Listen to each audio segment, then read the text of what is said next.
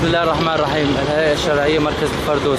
هذه هذه السيارة تم استردادها من أحد اللصوص الذي قام بسرقتها وقد قام صاحبها بتقديم شكوى في الهيئة الشرعية مركز الفردوس والحمد لله تم استرجاعها من السارقين.